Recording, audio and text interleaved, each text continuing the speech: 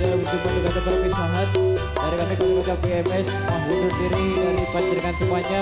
Mungkin ada kekurangan dan kelebihan yang kita mohon maaf yang sebesar besarnya billahi taufiq walhidayah wassalamualaikum warahmatullahi wabarakatuh. Yuk yuk.